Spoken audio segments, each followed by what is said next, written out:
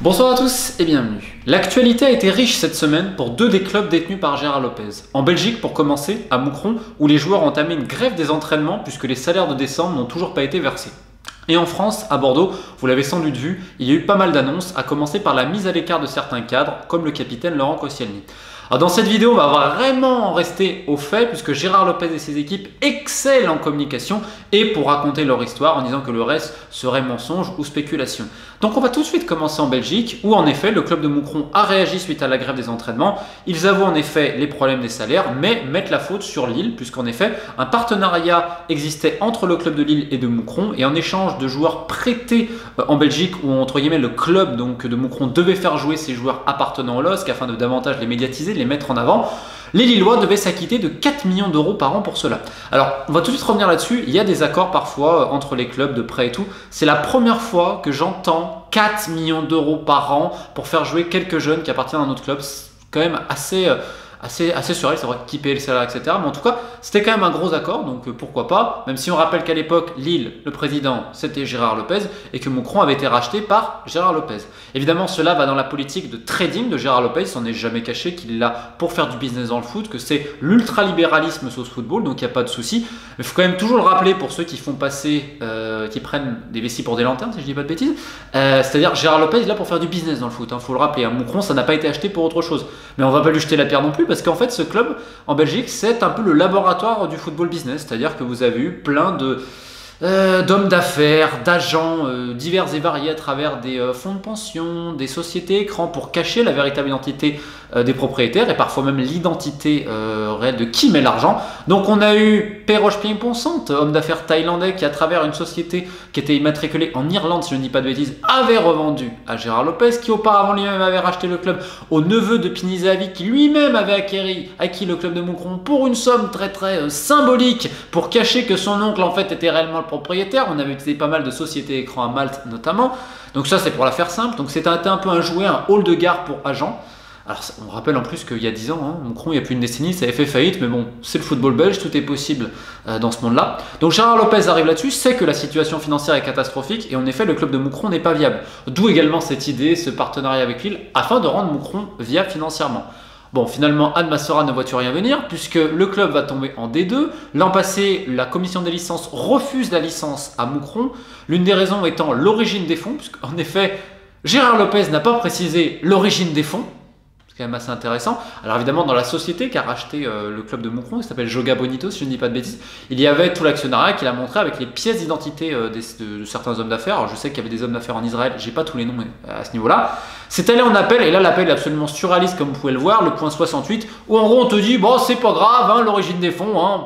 c'est vrai, le, football, c'est vrai, Tout, est très propre dans le football, on peut le voir d'ailleurs récemment, hein, parce que le parquet fédéral euh, ouvre des, charges contre 57 personnes dans le football belge, mais continuons comme ça. En tout cas, Moucron obtient sa licence finalement pour la deuxième division. La saison est mi-figue, mi-raisin, sportivement, ça avait très mal commencé, là ils sont mieux de tableau, il y a eu quelques changements, mais surtout des impayés qui s'étaient déjà fait sentir cet automne, et encore une fois, les joueurs là ne sont pas payés.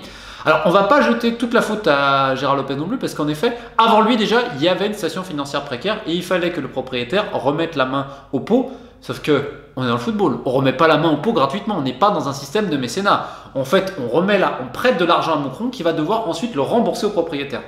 Gérard Lopez d'ailleurs avait racheté cette créance là. Bref, pour terminer ce que j'avais à dire, sauf que on va remettre les faits.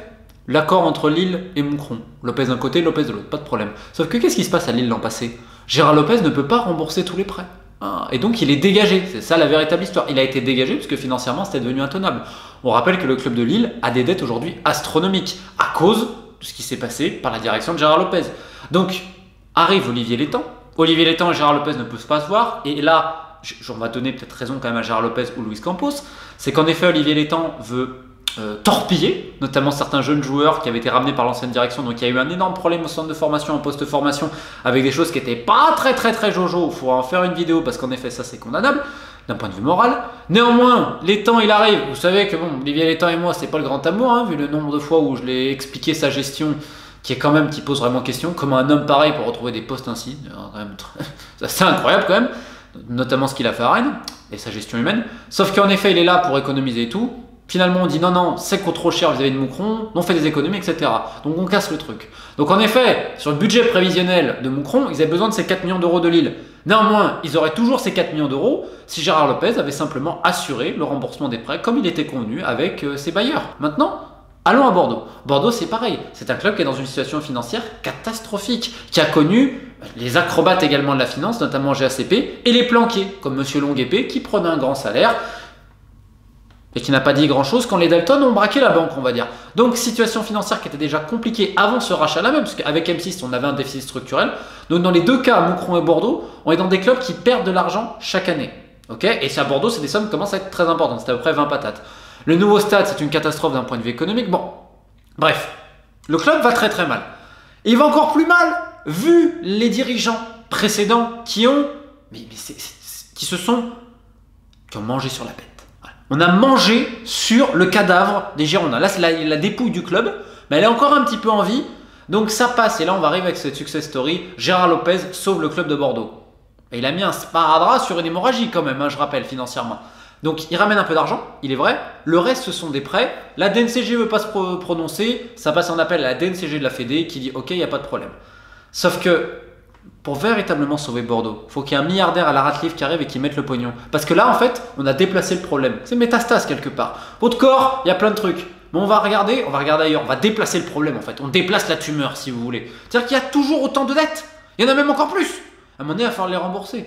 Et là, qu'est-ce qu'on voit? Situation sportive catastrophique. Donc le choix de Petkovic, ça n'a pas été le bon. Je rappelle que c'est quand même le sien et celui d'Admar Lopez, faut pas non plus l'oublier.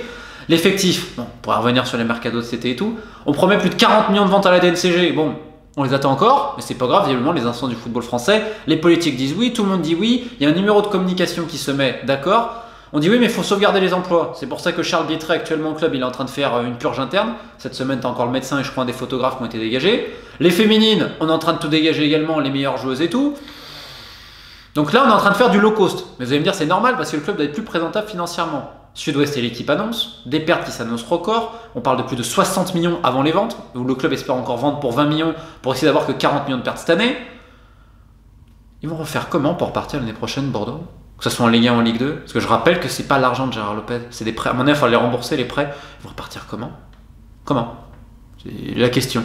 Mais bon, tout va bien parce que derrière on fait un numéro de communication. Et là, qu'est-ce qu'il est fort? Des grosses annonces, on va enlever les gros salaires, etc. On va recruter jeunes. Et je comprends que les mecs ont envie de s'attacher à ça. Ils parlent d'institutions, ils parlent tout ce que vous voulez. Avec ça, il a des deux espèces de porte-parole. Florian Brunet, qui est donc euh, dans les ultras. Dès vous critiquez Gérard Lopez, mais vous êtes avec Longuepé, vous êtes si vous êtes là. Très fort. Sauf que les joueurs, ils n'en peuvent plus. Les joueurs aujourd'hui, ils n'en peuvent plus. Un de la direction et de la propagande qu'il y a.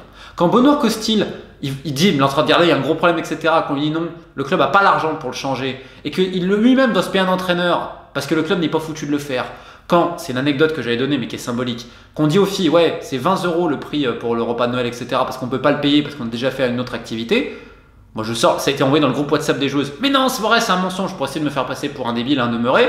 Quand on menace tous les journalistes, etc., mais faut pas le dire, faut pas en parler et tout, et qu'on demande que certains journalistes spécialement couvrent certains trucs, parce que ça va pas quand on publie d'autres informations, quand on donne ce canal de distribution-là, quand on va rendre très important Monsieur Diabaté sur les réseaux, etc., qui maintenant se permet même de dire qu'il faut que lui accepte les gens, parce qu'autrement ça va mal se passer pour eux. Ces gens-là qui se croient presque décisionnaires. Et donc on va embobiner les gens, on va leur donner une propagande, etc. Maintenant on va rester sur les faits. En Formule 1, quand Gérard Lopez y a été, ça s'est fini avec des impayés. Ensuite, il a géré le club du Follèche au Luxembourg. Enquête qui a été ouverte vis-à-vis de la gestion. Il a été dégagé du LOS parce qu'il n'a pas pu rembourser. On laisse le LOS avec des dettes astronomiques. Il y a une enquête en Italie pour le transfert d'Ossimène où il a géré, où on a eu un mandat club le matin du transfert à hauteur de 5 millions d'euros. Il est comment le mandat là? Comment tu justifies un mandat le matin du transfert pour un mec qui n'a rien à voir dans le deal? Qui d'ailleurs lui-même est un prête-nom pour un autre agent, qui s'appelle Monsieur Crouzel à Moucron, les salaires, aujourd'hui on en a payé, et on n'a même pas donné l'origine des fonds. Alors oui, on a de l'énergie, on a de l'ambition, on a parfois des résultats, mais Gérard Lopez, c'est tout ça dans le foot. Et vous savez quoi? Moi je lui dis bravo. Parce que malgré ça, la DNCG, les politiques, tout le monde, tout le monde lui mange dans la main. Le club scapulaire, pareil. Alors qu'en off, ils te disent mais qu'est-ce qu'on est maltraité, nanana. Donc, vu que tout le monde ne dit rien, bravo Gérard. Parce que quand ça va tomber complètement, faudra pas pleurer, et ce sera pas que la faute de Lopez. Longue épée, Massia, Varela, tous ces gens-là, et à Moucron c'est la même chose, c'est-à-dire tous ces gens qui mangent grassement Parce que nous autres, on est tellement omnibulés, tellement amoureux du football qu'on ne dit jamais rien. Je le dis depuis très longtemps maintenant, c'est plein de gens qui sont venus, qui ont promis monts et merveilles. Rappelez-vous quand GACP a récupéré le club, qui va avoir des bras armés en termes de communication pour au final faire quoi? S'enrichir? Oui, personnellement. L'avenir du club? À qui ça importe? Les vrais véritables fans, oui. Mais il y en a d'autres, sous leur couvert de leur amour réel pour le club, en effet réel, ils font plus de mal aux Girondins qu'autre chose. Et je le répète, on a mis un sparadrap sur une hémorragie. Les prêts, qui va les rembourser? Qui va gérer cette situation financière, également sportive aujourd'hui? Alors on peut faire des effets d'annonce, on peut dire c'est Koscielny, c'est ce que vous voulez. Le problème, il est beaucoup plus profond. Et laissez-moi vous dire une seule chose, les joueurs, ils en ont leur claque de voir à quel point Gérard Lopez et ses sbires arrivent à faire croire que tout va bien, quand l'ambiance en interne est absolument délétère, qu'on a un régime où le président n'est même jamais là, c'est un peu Charles Bietri, euh, l'œil euh, du Luxembourg, j'ai envie de dire. On a un peu pas abandonné le navire parce qu'on veut toujours faire des transferts et tout, mais on a fait beaucoup de promesses pour au final quoi? Ah oui, c'est bien beau de faire du discours et de la communication, mais je rappelle à tous ces gens-là que dans le club de foot, il y a football. C'est vrai, il y a des transferts, il y a les sociétés de scouting qui facturent aussi. C'est génial, les sociétés de scouting qui facturent. Mais au final, est-ce qu'il y a vraiment des gens qui ont Bordeaux dans le cœur? Dans tous ces gens-là, l'ancienne direction ou actuelle. Et à Moncron, c'est la même chose. C'est les mirages du football, on vous en met plein la vue, et pour au final, derrière, récupérer le chèque. Pas vous, hein, eux. Bref, c'est triste. Vive le football, le beautiful game, pas celui-là. Ciao